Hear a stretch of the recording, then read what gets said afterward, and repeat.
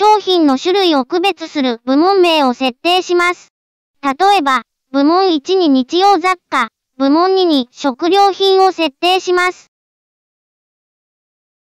モード切り替え、7、現金。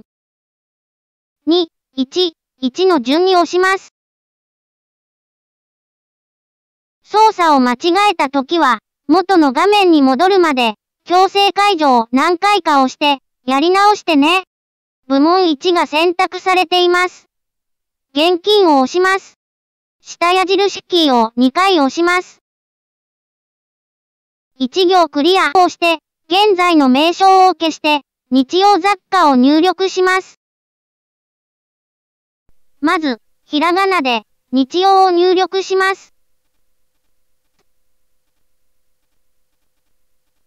変換を押すと、漢字に変換します。何度か変換を押して、正しい漢字が表示されたら、確定と押します。続けて、同じ方法で雑貨を入力します。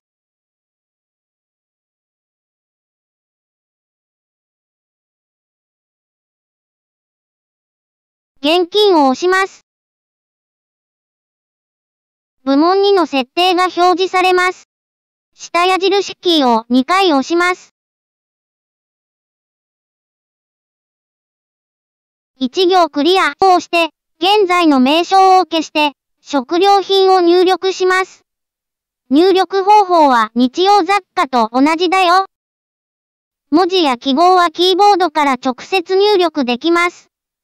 入力方法は昔の携帯電話によく似ているよ。